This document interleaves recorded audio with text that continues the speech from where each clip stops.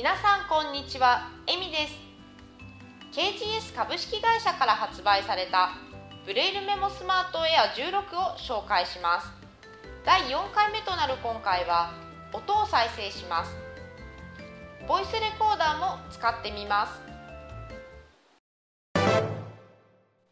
音楽を再生する。USB メモリまたは SD カードに入れた音楽を再生することができます。音楽を再生してみましょう。音楽を取り込む USB メモリーまたは SD カードをブレイルメモスマートエア16に認識させてしばらく待ちます。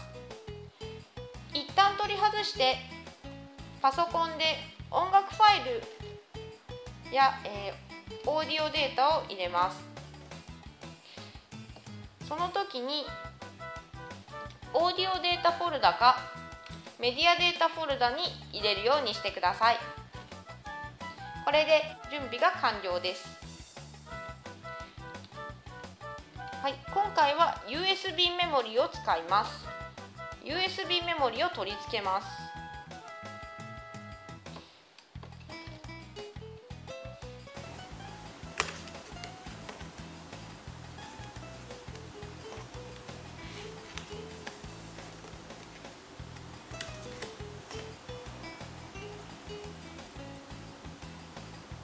USB メモリー USB メモリーが接続されました。USB メモリー USB メモリーが接続されました。利用可能ゴロン 7.3GB 全容量ゴロン 7.4GB メモリーの内容を表示しますか。点字図書を開く W ボタン。はい。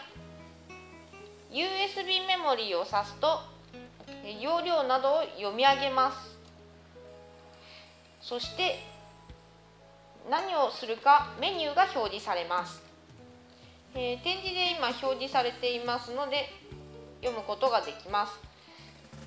下矢印キーを数回押して今回はオーディオ再生を選んでエンターキーを押してみます。ページ図書を開く D テキストファイルを電子ファイルを編集するオーディオデータを再生するカッコ EMS オーディオデータフォルダ A ボタンオーディオデータの選択カッコデータ一覧開くファイルを一覧から選択してください。データリスト1お月様のダンス。MP32020 年10月30日11時26分。はい。このようにファイルの一覧が表示されます。今回は、えーと、お月様のダンスというファイルを再生してみます。エンターキーを押すと再生ができます。そして停止をするときもエンターキーを押します。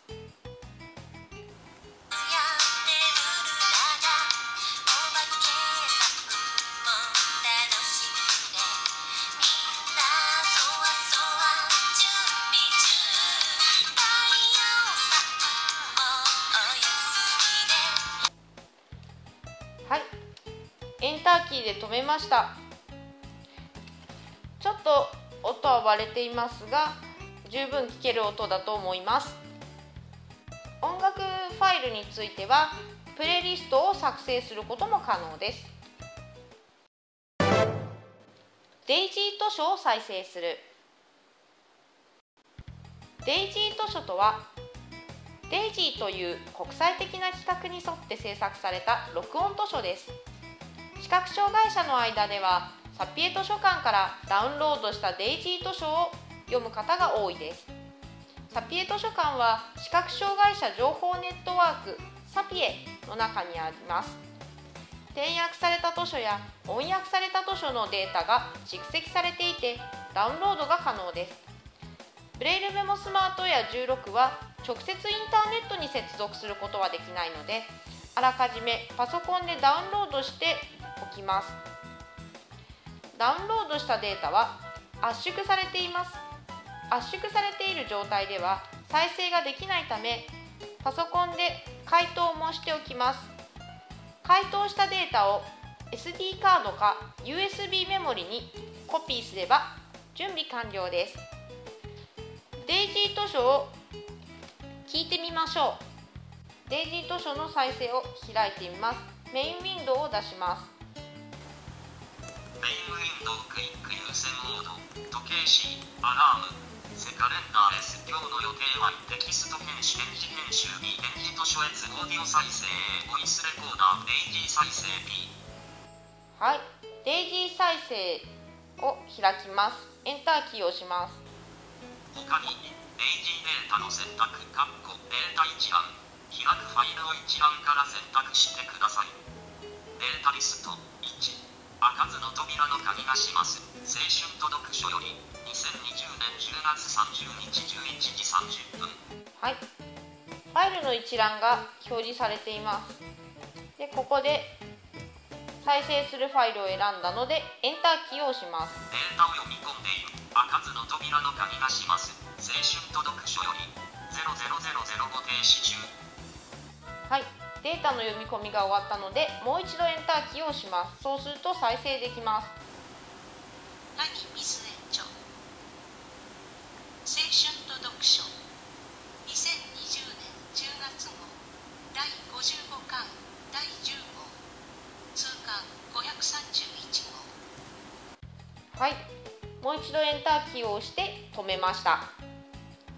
このようにデイジー図書を再生できますデイジー図書は図書によって設定されている移動単位が違いますがブレイルメモスマートウェア16では読みたい場所に移動するための便利なショートカットキーがたくさん用意されています。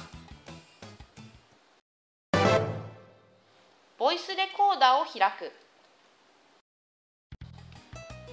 ボイスレコーダーというプログラムを開きます。メインウィンドウからボイスレコーダーを開くかウィンキーを押しながらアルファベットの V を押します。V は点字で書くとえ1236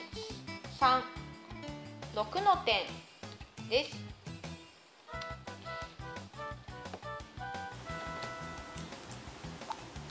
ボイスレコーダー録音ボイス2020年10月30日11時55分06秒。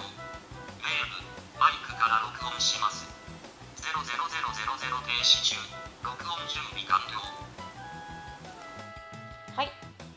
このようなメッセージが流れてボイスレコーダーが開きました。録音をしてみましょう。録音するにも停止するにもエンターキーを使います。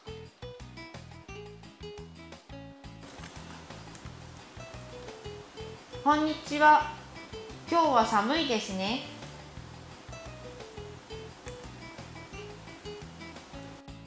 録音ができたはずです。録音したデータを聞いてみます。エスケープキーを押して録音ウィンドウを閉じます。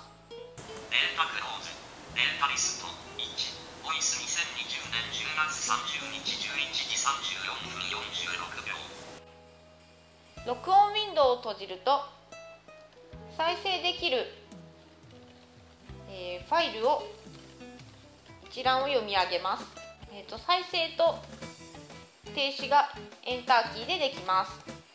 再生してみます。こんにちは。今日は寒いですね。はい。